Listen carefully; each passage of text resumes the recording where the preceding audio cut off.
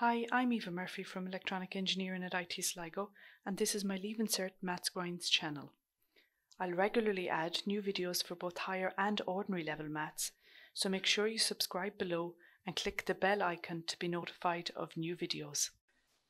Right, let's have a look at this little one. We, we, the second half of this question done. It, it was the um, you remember where you had to hormones were applied to plants and we had to describe the um, how the normal distribution shifted. This was part a of that question and, and it was in 2013 um, so a random variable x follows a normal distribution with mean 60 and standard deviation 5 find the, the probability that x is less than or equal to 16 or, or the percentage chance of it happening or um, the proportion that's below it. So it can it can be described in various ways, okay? So I'm just drawing a normal distribution here. Okay, marking my mean in the middle of 60, standard deviation roughly about a third up of five, okay? And it's going, well, where is 68? So you can see if that's my five, if I go up another standard deviation that 68 is, is well up. It's well up towards two standard deviations above, okay? And you know that plus or minus two standard deviations above is 95%, okay? Um, and it also includes the bottom bit here, which has another two and a half percent in it, okay? So it's plus or minus two standard deviations, plus the two and a half percent that's down here, so I would expect my answer to be well up in the um, in the percentages.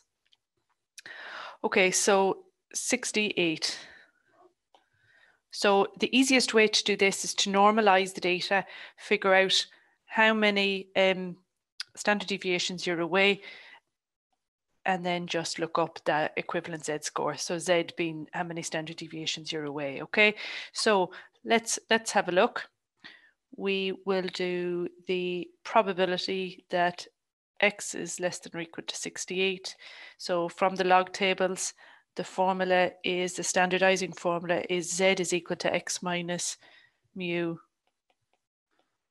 over sigma. Okay, so x minus mu. X is the value you were testing, so it's 68 in, in R1, and that's the value that we're testing. This is your mean, which is 60 in our case, and your standard deviation is your sigma, okay? And when you put that into the calculator, you get um, 1.6. Okay, so if we look up 1.6 then in our z-score tables, so we are 1.6 standard deviations away Okay, it's exactly 1.6, so it's 1.6. There's, this is our second place of decimal across the top, so 1.60. So 0.9452.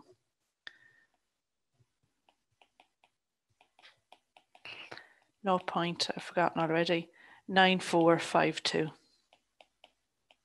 Okay, so 94.52%, which is kind of what I expected. It was nearly up at two standard deviations. The difference there and the two and a half percent here kind of cancels each other out. So 0.9452, okay, or 94.52%.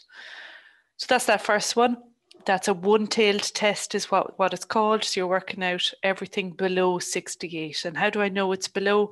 Well, I know from from this diagram here. So because below the line is shaded in, when you look up a z-scores, it's everything up to that value. Okay, now the probability that you're between 52 and 68 is what we call a two-tailed test. So if I draw that one over here,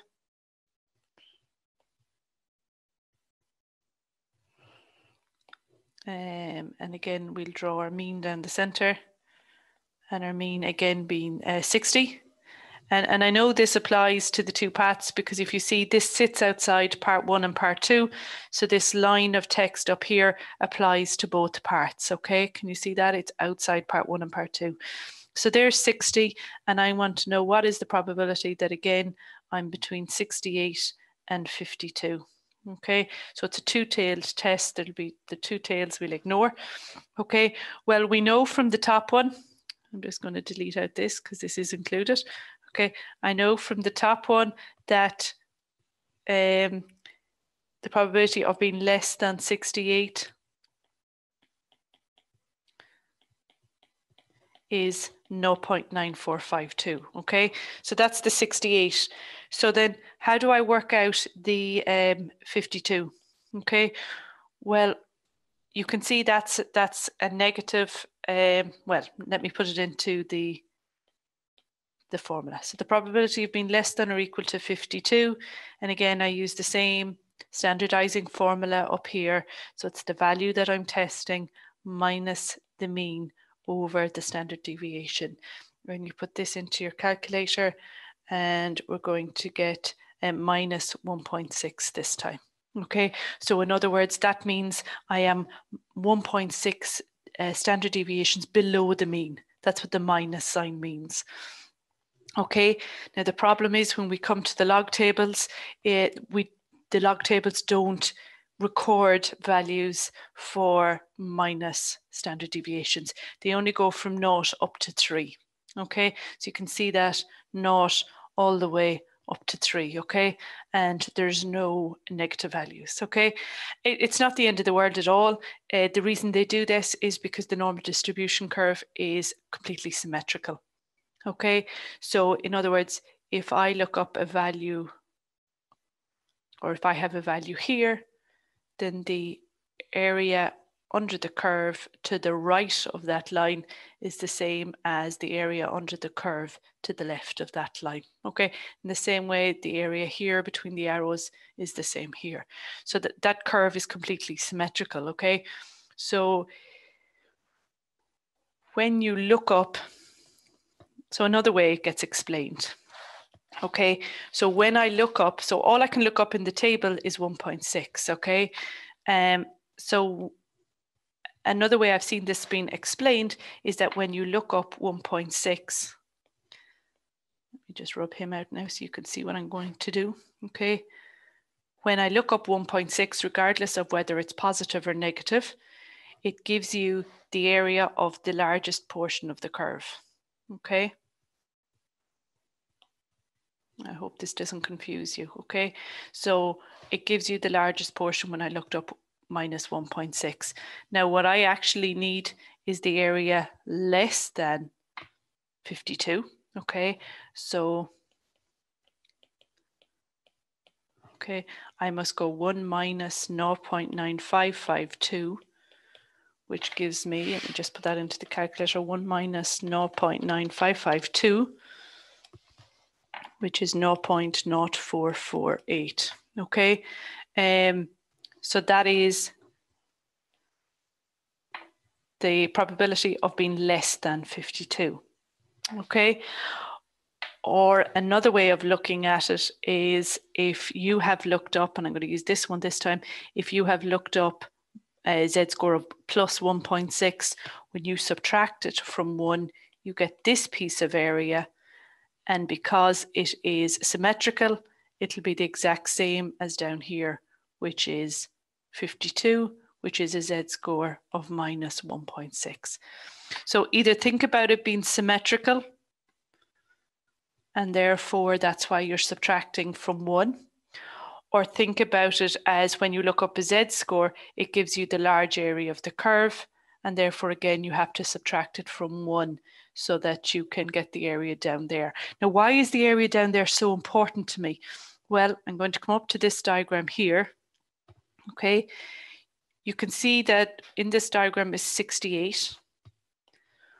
When I work out this area down here, which is less than 52, okay?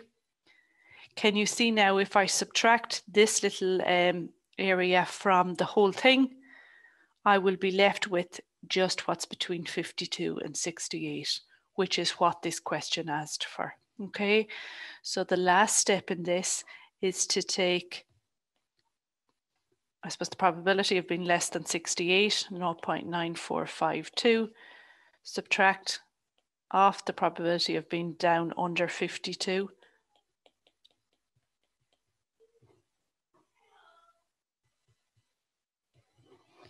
And let me see what I get for that. So 0.9452 and certain and I'm getting 0.9452. 0.9004. Sorry, I did make a typo. Let me just fix my typo now. So your answers are, are fully correct. The method is correct. The answers is just one out. And 0.9452 minus answer, 0.8904. Okay, so to summarize, when it's a two-tailed test, do the big one first and work out the area or the probability of you being less than that number, okay? And it's all the way down to the negative. Then do this the lower one separately in many cases, it'll be a minus number. Okay, there are no minus standard deviations in the log table, so you have no option but to look up the positive. Okay, subtract it from one to get the probability of being in this region here, and then subtract one from the other to get the probability or the proportion that's between the two numbers.